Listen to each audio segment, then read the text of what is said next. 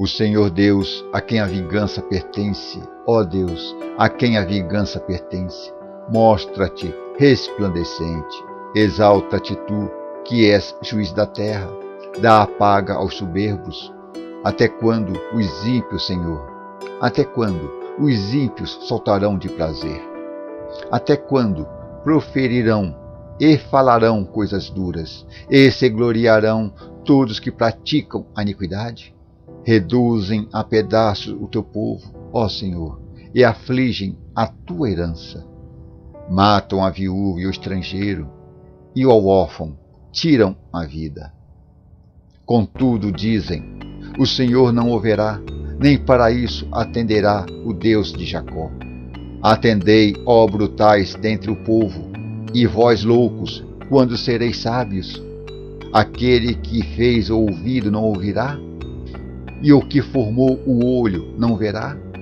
Aquele que argue os gentios não castigará? E o que ensina ao homem o conhecimento não saberá? O Senhor conhece os pensamentos do homem, que são vaidade.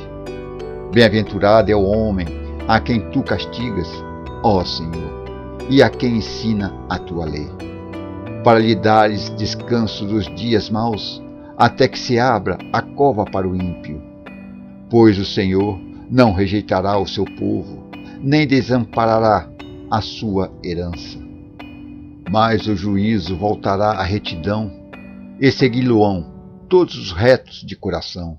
Quem será por mim contra os malfeitores? Quem se porá por mim contra os que praticam a iniquidade? Se o Senhor não tivera ido em meu auxílio, a minha alma quase que teria ficado no silêncio. Quando eu disse: O meu pé vacila, a tua benignidade, Senhor, me susteve. Na multidão dos meus pensamentos, dentro de mim, as tuas consolações recrearam a minha alma. Porventura o trono de iniquidade te acompanha, o qual forja o mal por uma lei? Eles se ajuntam contra a alma do justo e condenam o sangue inocente. Mas o Senhor é a minha defesa, e o meu Deus é a rocha do meu refúgio, e trará sobre eles a sua própria iniquidade, e os destruirá na sua própria malícia.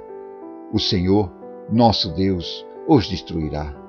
Que assim seja, graças a Deus, e muito obrigado.